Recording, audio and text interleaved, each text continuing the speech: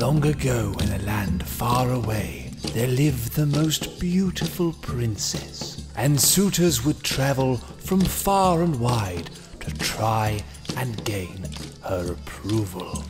My darling princess, I've brought you a letter. It's about. It's a letter.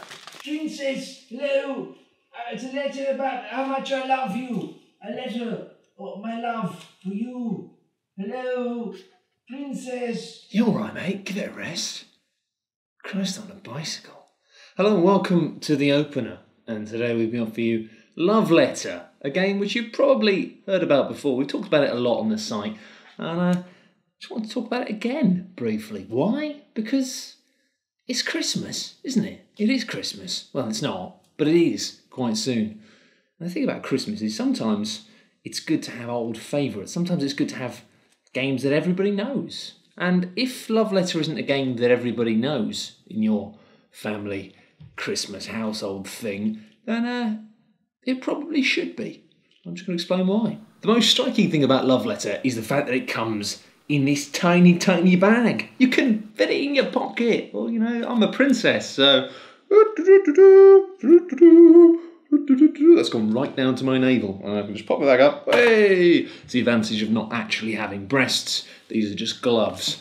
Um, but yeah, you can kind of carry this around with you everywhere. And a lot of time we talked in the past about portable games, things like uh, uh, Skull and Roses, and all these things that you can just have in a bag, carry around with you, pop out, have a go. Resistance Avalon's another classic, but this one's tiny, tiny, tiny. And it's because it's got nothing in it really. It's just got some cards, and it's very simple. It's just a case of it's a hidden identity game. A bit like Coup, which I reviewed, or Coop, as it's pronounced correctly, as I reviewed in another opener not that long ago. But Love Letter is the daddy. You know, Coop is fun, but Love Letter is simpler and better. So, what's the deal exactly? Well, I'm the princess, and as the princess, I'm a very beautiful and highly desirable woman, which means everybody, everybody wants to try and win my affections by getting their letter to me. And what that means in the game is effectively at the end of the game, the person who's got the highest number on their card is the person who gets their letter to the princess first. And because obviously, despite being highly attractive and massively desirable, I am also clearly a very flippant woman and will marry the first person to give me a letter. It uh, doesn't seem terribly sensible. However, it doesn't really make sense either because the most powerful card in the deck is the princess, which means that the princess gives herself a letter. And uh, it, I mean, it, the story doesn't make any sense. The story doesn't make any sense, which which effectively makes my decision to dress up as a princess seem kind of pointless. What you've got here really is a game of deduction. There are five guards, which means it's very likely that somebody might have a guard in their hand, but then you've got like only two priests, two barons, two handmaids, two princes, one king, one countess, and one princess. And as these cards are played throughout the game, you gradually start to whittle down and get an idea of what cards are still in play, what cards might be in someone's hand. Because really, at once, you're only ever holding one card in Love Letter. At the start of each turn, though, you pick up another, but then you have to play one of those two cards.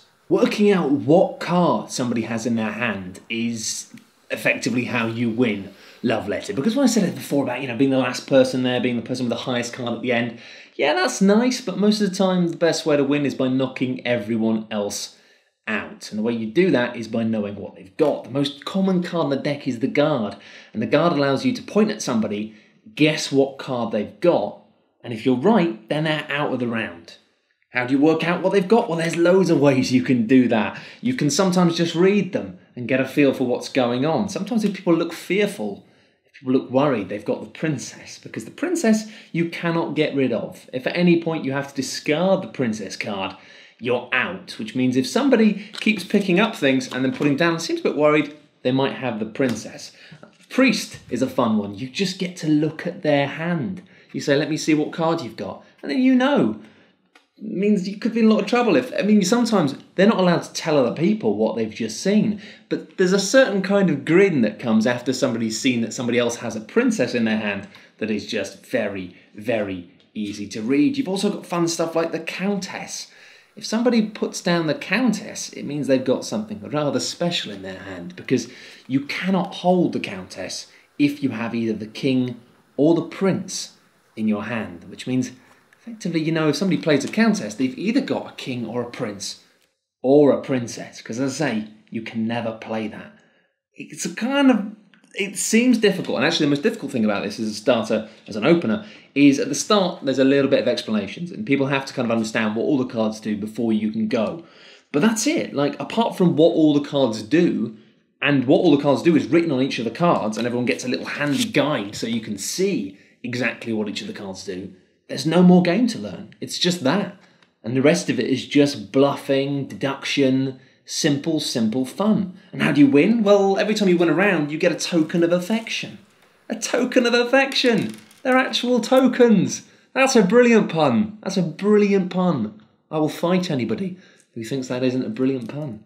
And once you've got enough of them, depending on how many people are playing, you've won. You've won the game. You've won the princess's love. Oh, I love you so much because you've sent me a letter. It's a simple, beautiful, tidy little game that you can pop in your pocket. And to be honest, one of the main complaints I have about the game isn't really, it's not a fair complaint, is you can only play it with four people. So you can play it with two people, three people, or four people, which means if you've got five people, you're just a bit stuffed. And that's not really a complaint, it's just the nature of how some games are designed. But the problem is, Love Letter is so much fun that often you will want to play it, and everyone will want to play it. And it's kind of difficult if you've got too many people. But having said that, it's kind of perfect for small family gatherings. So if you're going home this Christmas and you have some people who, you know, family who don't play maybe, this is a lovely little game. And it's a game you don't have to go and set up on a table. You can just play on a little coffee table or play somewhere simple. You can just play it anywhere. In fact, I've heard some really touching stories about people playing in hospitals and people playing it in long airport sessions where they're just stuck in somewhere for hours and hours. It's it's kind of invaluable, and it's something that is just a little thing you can keep in your pocket or in your brassiere, you know, whatever. And it's just a little gateway to having lots of fun and having these little things you can carry around with you and having these little moments that you can just pop out of your pocket and jump straight into. At a time like Christmas, especially if you're traveling and you have to travel light, it's just nice to be able to have something like this. That's really showing, isn't it? It's just nice. It's good. And that's kind of what Christmas should be about. Spend some time with people you love. You know, try and have fun in a way that doesn't feel too forced. And Love Letter is a classic little game. So, yeah, that's Love Letter. There's not really much more to say about it. You probably already know about it. I'm sorry if this is just being very repetitive, and I hope the fact that I've dressed up as a lady princess provides you some small amount of solace, makes it feel like it's been worth your while coming and hearing me talk about this. Something you already know about. But hey, Christmas, make it a tradition because traditions are important. This is a tradition for me. My grandfather was a pantomime dame for many years. I never got to saw, see him in a pantomime, but uh, yeah, apparently he was brilliant. And so I continued the tradition by occasionally dressing up as an entirely unbelievable woman. So, yes, love letter. Make yourself a little family tradition. It's a nice one to have, I think. But now, let's get extravagant with some gingerbread pears. So, first of all, to make these delicious, delicious biscuits, you're going to get 350 grams of plain flour. Then you want to add one teaspoon of bicarbonate of soda, but if you haven't got any of that, then I'm using four teaspoons of baking powder, which should be fine. Now for the good stuff, we want a heaped teaspoon of cinnamon, and I'm going to go for three and a bit heaped teaspoons of ginger, because I like it really fiery gingery. Go nuts. Sift all of this into a mixing bowl, or as I'm doing here, into a mixer, because I'm a bit lazy. And then add in little cubes of butter. You want 125 grams of butter, which is easy because it's just half half a block. Oh, you don't even need to. Brilliant. Next up, whiz it like Beckham, and then add in about 200 grams of sugar. You can add in a bit more, but I think because I'm going to glaze them with icing, you don't want it to be too sweet.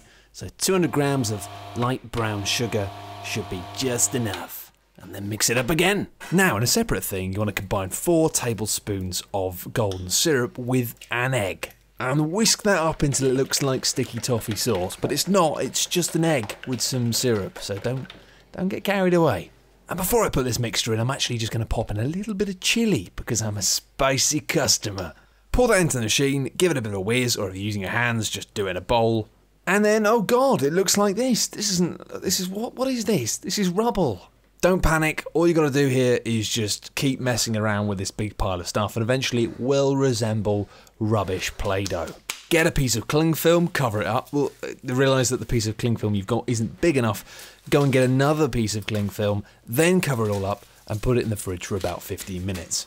Once it's chilled, put it on a piece of grease-proof paper, roll it out to between half a centimetre to a centimetre in the size. I reckon a centimetre if you like them a bit squishy, half a centimetre if you like them crunchy.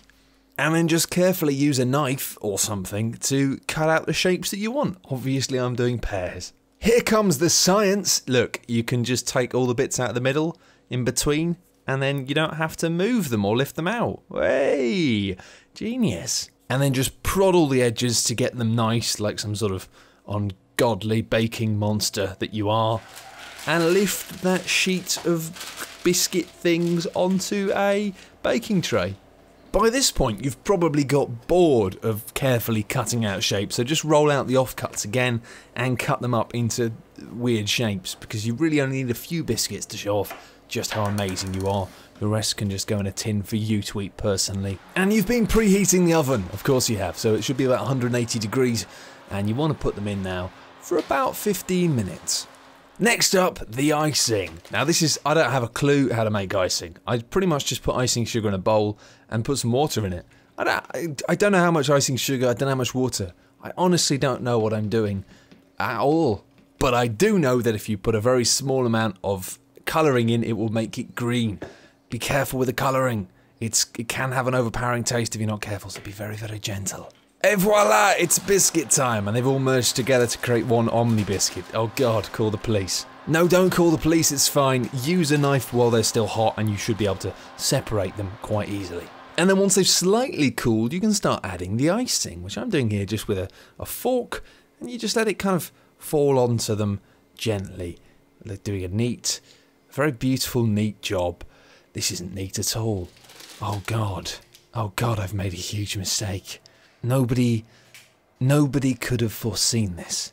Almost there. Now this is the point where you go and pour yourself a glass of wine because everything. Ah, but no. If you put the oven on 50 degrees and you just pop them in for about half an hour on the lowest, lowest, lowest setting in the oven, then you will find that the biscuits and the icing have started to set quite nicely. Wait until they've cooled so you don't break the biscuits when pulling them off the tray. And you should be able to separate them quite nicely from the horrendous pool of infinite green sugar. Oh my word, that's it! Gingerbread pears. They look alright. And that's it, that's the opener. A nice little game you can pop in your pocket and some nice little biscuits that you can take around to somebody's house. Thank you very much for watching. I'm gonna go and have a long shower. Goodbye!